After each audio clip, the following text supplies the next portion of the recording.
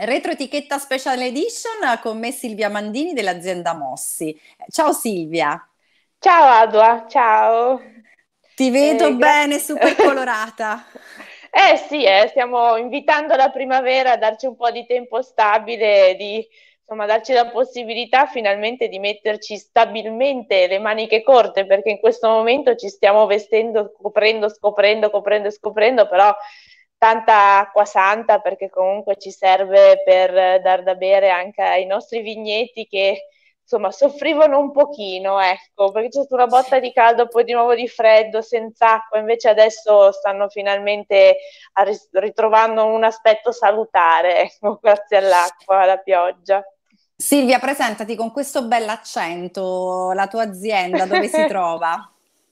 Allora, io frego in realtà, perché ecco. io sono ecco. bolognese di origini, okay. trasferita a Milano, dove ho conosciuto eh, mio marito che ho poi tirato proprio come se l'avessi accalappiato un po' all'amo e l'ho riportato nella mia bellissima Emilia. Infatti la nostra cantina, che si chiama Mossi 1558, si trova sui Colli Piacentini, in Valtidone, che è un po' l'avamposto della zona dell'Emilia, perché a due colline di distanza da noi trova, si trova l'Oltrepo Pavese, quindi per gli emiliani siamo già lombardi, mentre per i lombardi siamo emiliani un po' una terra al limite, borderline proprio, una terra di passo, come diceva Leonardo, e, però io mi ci sono trovata come a casa perché sono nata in mezzo alla natura, in mezzo alle colline, quindi per me ecco, è stato proprio un ritorno un po' a, all'infanzia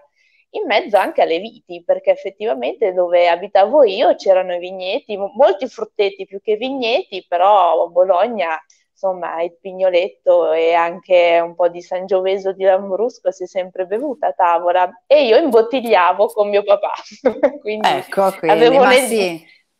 dovevo tornare, a, si vede, a toccare con mano le stagioni e la natura e occuparmi anche di loro e ci siamo dedicati al, alla vigna. Se, se, me l'avessero chiesto eh, anche solo 6-7 anni fa avrei dato dei pazzi, perché io lavoravo per una casa editrice, quindi non mi occupavo assolutamente di vino, e invece, cacchio, è una passione, anzi, proprio addicted, quindi in vacanza poco, e per fortuna, perché quando andiamo via poi dopo vogliamo sempre tornare a casa, ma come staranno le viti tutte a posto, e la cantina, e i vini stanno lavorando bene, bisogna assaggiarli e, e poi abbiamo tante idee per il futuro, quindi stiamo facendo tante sperimentazioni, molto divertente il lavoro nel vino, molto.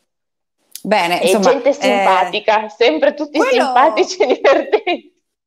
Quella è stata una delle cose che mi ha più affascinato in questo mondo, no? Cioè proprio trovare, eh, insomma, come dire, il, il, l'imprenditore eh, però con, una, con, un modo di fare, con un modo di comunicare, con un attaccamento alla terra che secondo me lo differenzia da tanti, da tanti altri, altri, lavori. Eh, Silvia, quando tu eh, presenti mh, il tuo vino, cos'è che dici? Come lo presenti? Vabbè, la prima cosa che dico sicuramente è tipo, bah, sicuramente non vi sarà mai capitato di assaggiare un ortrugo fatto così o una malvasia rosa perché la coltiviamo solo noi. E perché dimenticatevi tutto quello che sono diciamo mh, gli stereotipi che esistono che purtroppo resistono ancora oggi sui colli piacentini perché abbiamo ancora questa diciamo, passato di vini frizzanti dalla pronta beva, facili da bere, quindi mm, un granché, no? Come si...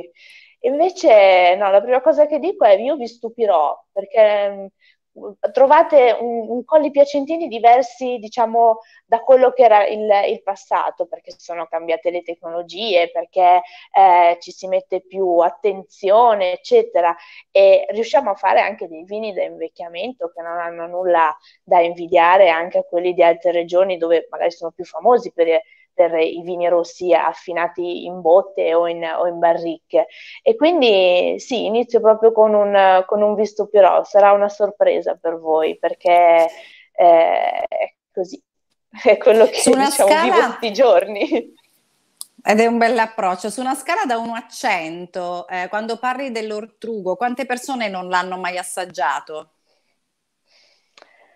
Uh, il 60%. Ecco, quindi come dire, insomma, fai veramente un, un, un, lavoro di, cioè, come dire, proprio di catechismo, no? In qualche modo. Assolutamente, cioè... sì, sì. Ma infatti io ho il, genio, ho il genio un po' della maestra, perché mia mamma era una maestra di scuola mm-hmm. elementare e mi ha trasmesso questa passione per l'istruzione.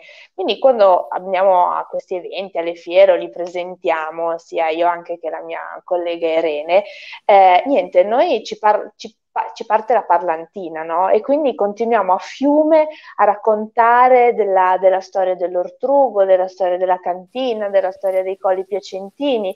E devo dire che questo approccio appunto narrativo, non didattico, non siamo diciamo le maestre bacchettone, ha sempre affascinato eh, l'ascoltatore o chi ci, ci, ci era davanti, eh, tanto che spesso si ricordano più di noi che dei vini. Beh, però guarda che poi associarli... Il...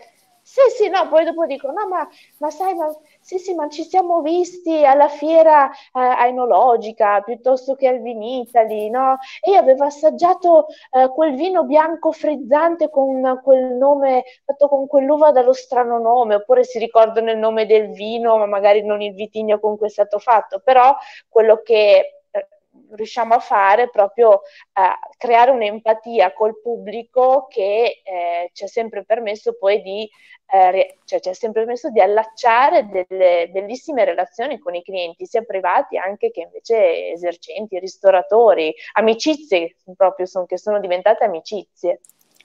Qual è l'identikit del tuo consumatore? Te lo sei mai chiesto? Chi è il tuo consumatore? Voi ne dite di eh. ogni ed è bellissimo perché eh. spaziate, eh. spaziate molto, ma tu te lo sei mai chiesto o come te lo immagini? Allora sì, io me lo immagino come un, un, po' dandy, no? Perché siccome abbiamo queste etichette un po' retro, vintage, eccetera, no?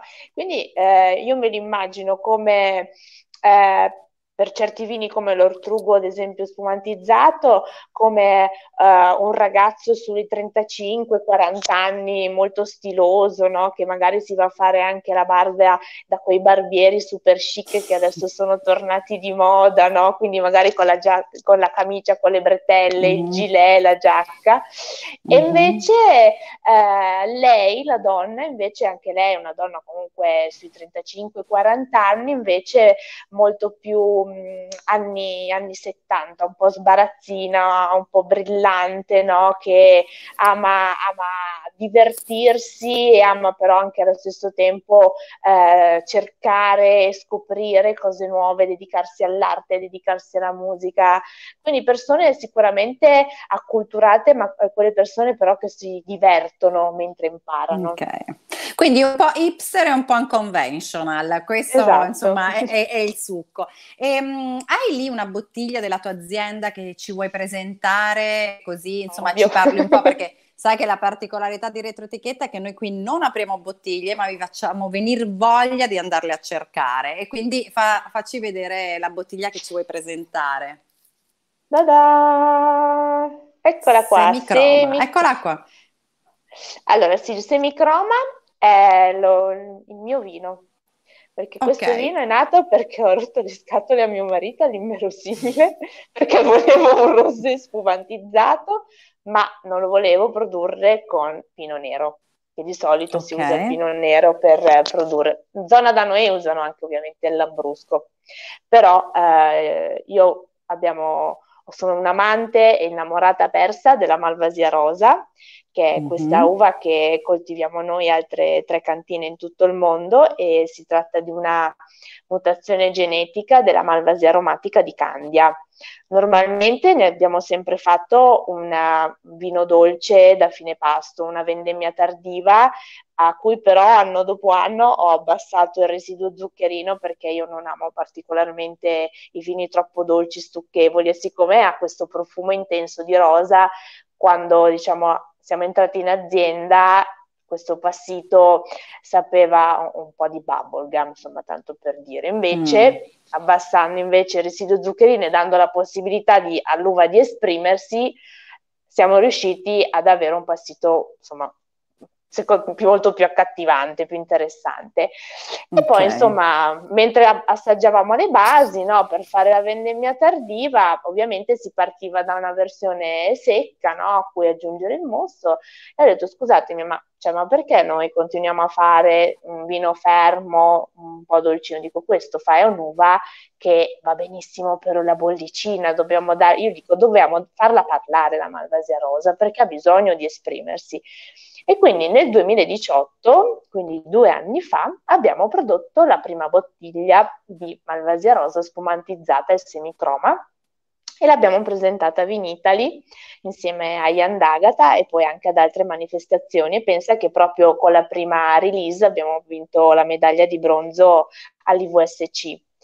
Quindi questa è la 2019 dove anche okay. qui da un extra dry che era l'annata 2018 siamo passati al, a un brut, sempre per la mia mm-hmm. lotta personale contro i residui zuccherini e ne è venuto fuori uno spumante eh, a mio parere unico, ma un, unico perché non esistono, è un po' dis- molto usata questa parola, no? unico, ma effettivamente questo spumante sa di, me- di, di, rosa, sa di melograno, sa di pompelma, ha una bollicina fine che proprio ti solletica il palato e in bocca, essendo secco, risalta molto anche l'acidità di quest'uva, non- nonostante i nostri terreni siano argillosi, quindi Mm, non si penserebbe mm. che po- si possa ottenere un, un, vino di questo tipo. Invece ha questa acidità meravigliosa e, e niente, è il vino con cui festeggio sempre il mio compleanno. Bene, ci hai fatto veramente incuriosire, sei molto brava nello, nello spiegare con la tua passione. Eh, Silvia, tante parole per descrivere il vino, questa è un'altra domanda che io faccio sempre qui agli amici di Retroetichetta. Qual è un aggettivo, una parola che a te piacerebbe fosse usata per descrivere proprio i tuoi vini? A me piacque tantissimo la parola gastronomico. Mm-hmm. perché eh, indica comunque una caratteristica che accomuna tutti i nostri vini, nel senso che abbiamo vini che sono facilmente abbinabili a piatti di qualsiasi genere, nel senso che anche i nostri rossi, cioè perché non con il pesce, per esempio, che a volte non, non viene accettato questo tipo di abbinamento, oppure anche perché dico con la pizza cioè io ad esempio il semicroma, se mi chiedono con cosa lo abbineresti, dico bevetelo con la pizza perché sta benissimo. Quale pizza? Quale pizza Silvia lo ordini? Bah, la, la, la pizza margherita. Cioè ah, la, proprio la, la, base, la base, sì, sì, okay. la pizza margherita perché il pomodoro che ha un po', ah, che ha un po' questa acidità e la grassezza della mozzarella con diciamo, le caratteristiche di questo vino ci stanno benissimo perché lo accompagnano, pulisce la bocca il vino e diciamo, esalta anche poi anche questi aromi di, eh, di, lieviti che sono sia un po' nel vino e anche nella pizza. Quindi Silvia, beviamo uh, il vino con la pizza. Ah, guarda, io sono, ne parlo da anni di questa cosa, quindi mi, qui sfondi una porta aperta. Eh, Silvia, tu bevi il vino degli altri? Sì. Sempre. Sempre. E hai lì una bottiglia di un vino che ci vuoi parlare, che magari sì. lo bevi stasera, che c'era nella tua cantina? Di chi ci vuoi parlare? Allora, vi parlo di questa piccola cantina, vi faccio vedere mm-hmm. questa etichetta che è meravigliosa ed è disegnata dalla titolare, sono anche lì mm-hmm. moglie e marito che gestiscono mm-hmm. questa cantina che si chiama Martilde. Eh, sono nostri vicini del, dell'Oltrepo Pavese e questo che vi sto presentando si chiama Nina ed è un pino nero del 2014 perché io sono un amante del pino nero. Bene, benvenuta nel club. Okay. esatto, un po' scontata però. No, no, ci sta, ci sta, ci sta, benissimo. Ok. E tro- devo... dimmi, dimmi. Trovi il loro, il loro, pino nero particolarmente piacevole? Sì. Molto, sì, ha una bellissima acidità, prima di tutto perché a me piacciono i pinot neri comunque che vengono tenuti con questa acidità spiccata e si esaltano i, i profumi, diciamo, tutta la frutta rossa piuttosto che farne un vino un po' troppo importante. Ecco, amo, amo i vini un po' tipo i gutturni superiori, no? Quindi che sono leggeri okay. con la bella acidità, un bel equilibrio, eh, anche una setosità. E questo eh, vino io lo trovo molto molto buono perché è veramente buono. Lo è, sì, brava. Stasera finisce, una... stasera ecco. finisce sicuro. E quelli sono i vini buoni, quelli quando la esatto. bottiglia è finita e ops, non ce ne siamo accorti. Esatto. Assolutamente. Esatto. E lei ha tutte queste etichette che oltretutto sono affascinanti perché le disegna con tutti gli animali della, della sua eh, parte agricola, perché comunque anche un cavallo ha, ha, le oche, le galline, disegna i suoi cani, un amante dei, dei cani. Comunque sono bravissimi e simpaticissimi oltretutto. Bene, grazie per averci fatto scoprire questa, questa piccola azienda dell'Oltrepo Pavese. Eh, Silvia, in questo momento particolare in cui anche come dire, l'acquisto del consumo del vino eh, ha, ha, iniziato a viaggiare molto su altre piattaforme già esistenti uh-huh. come quella dell'e-commerce e così via, chi volesse trovare e acquistare i vostri vini, eh, voi li vendete tramite il vostro sito o vi eh, appoggiate ad altri? Allora, no, adesso eh, sarà attivo eh, entro fine giugno perché ci stiamo lavorando eh, il nostro e-commerce, ma eh, molto più semplicemente all'interno della pagina dei contatti trovate il numero di telefono e email a cui poterci scrivere, il catalogo dei prodotti lo trovate ovviamente sul nostro sito internet nella sezione in bottiglia e quindi una telefonata, una mail, poi abbiamo anche mandato delle newsletter in questo periodo eh, per informare tutti coloro che a vario titolo avevamo incontrato, perché comunque eh, la vendita che facciamo adesso è mh, mm, spediz- con spedizione gratuita, proprio per aiutare Bene. anche le persone che sono a casa, hanno difficoltà a spostarsi, eh, a ricevere i nostri vini quindi a breve e-commerce, ma adesso una telefonata e una mail e noi vi mandiamo tutto.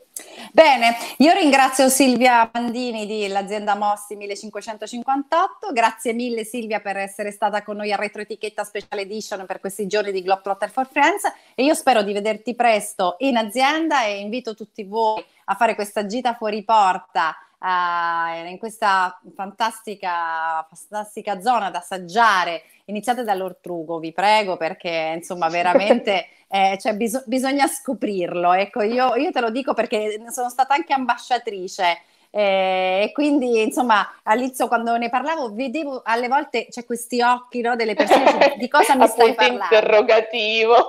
sì, sì, Però poi una volta, una volta, che poi lo assaggiavano, ci si parlava del territorio, guardate, è veramente è, è scoprire ancora di più la nostra bella Italia tramite dei prodotti così unici e territoriali. Grazie ancora Silvia. Grazie a te Adua. Dai, a presto, speriamo. a prestissimo. Ciao.